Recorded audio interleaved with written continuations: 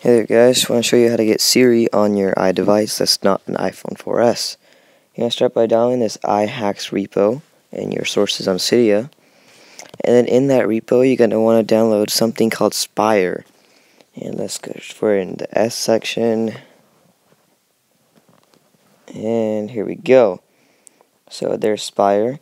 And if you have an iPhone or an iPod, you want to download Spire. If you have an iPad or iPad 2, you want to download Spire for iPad slash iPad 2. So once you download that, it should take some time and you reboot. And then you're going to head over to settings and make sure that Siri is on. Make sure it's activated. And this is the part where you got to scroll down and head over to Spire and you want to change the proxy host to the link I'll have for you in the description. So once you enter that proxy host, you're going to go to the home screen and you want to open up Safari.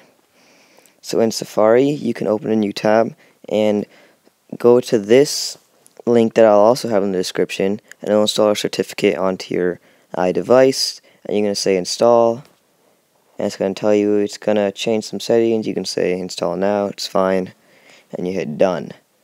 And now you have Siri that works on your iPad and iPod and iPhone. So, thanks for watching, and I do not know how long this will last, but it's working right now.